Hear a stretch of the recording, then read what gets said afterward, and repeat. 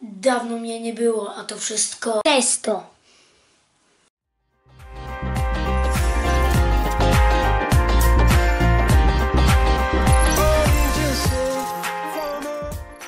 Siemanko, siemanko, ja jestem Artur i dzisiaj witam was w kolejnym i no, w kolejnym odcinku na moim kanale.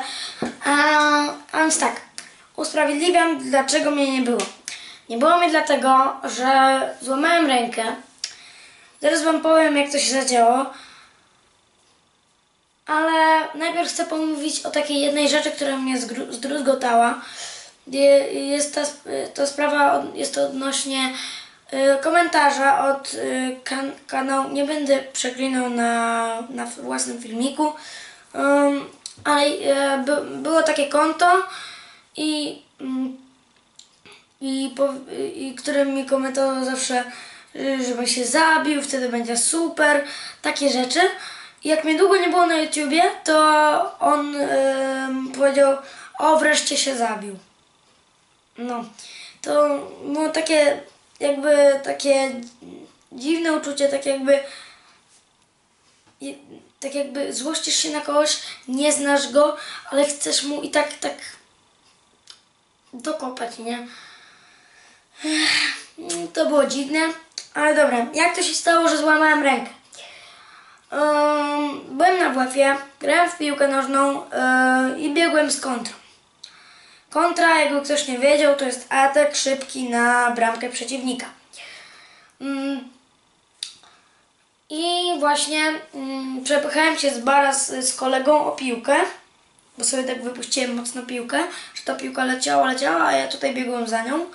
I mój kolega mnie, mnie tak dobiegł do mnie i tak yy, prze, przewal, przewaliliśmy się z bara i on upadł na kolano, a ja upadłem całym ciałem na tą biedną rączkę. Strasznie bolało. Um, WF-istka niestety, jak to zawsze z moim fartem, nie przejęła się tym, kazała mi usiąść i nawet mi tego nie obejrzała, ale później było dobrze, założyli mi gips taki szmaciany, że tak to powiem. Potem po y, tygodniu założyli mi taki gips, taki twardszy, zgrabniejszy. Za niedługo będę grał spektakl, więc jakoś będę musiał sobie poradzić. Ale dobra. Kolejna sprawa to y, to, że założyłem sobie y, musicali. W końcu się do tego przekonałem. Już mam z jakieś 3, czy tam 4, czy nawet 5. Y, już dzisiaj wrzuciłem musicali. Y, nawet teraz będziecie mieli mojego pierwszego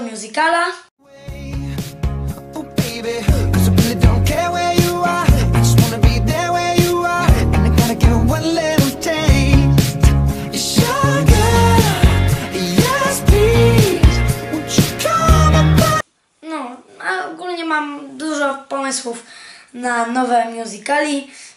Myślałem, że to jakoś inaczej się robi, bo pierwszy raz to robiłem i byłem bardzo zaskoczony, ale jestem pozytywnie zaskoczony tą aplikacją. Dobra, następna sprawa. Chcę Wam opowiedzieć o takiej jednej rzeczy. Wczoraj, czyli 29 września, była premiera FIFA 17, którą oczywiście musiałem kupić. I, i, i, i, i, i, wyszło tak, że ja wracałem ze szkoły i tata mi pojechał kupić. Potem się okazało, jak chciałem włączyć po odrobieniu lekcji, że y, no normalnie się włączyło. Y, Po czym y, wyłączyłem na chwilę, a potem znowu włączyłem i okazało się, że muszę przetrzeć jakiś, y, jakiś dysk jakąś szmatką. Potem tata przetarł i dalej to było. A potem wieczorem z tatą pojechaliśmy, e, żeby po, po prostu zwrócić i wziąć nową, po prostu wymienić. E, Po czym się okazało, że to było wczoraj, że powiedzieli nam, że jutro będzie kierownik, on tam wszystko powie, po prostu nas olali. Próbowałem z tatą później, próbowałem, próbowałem.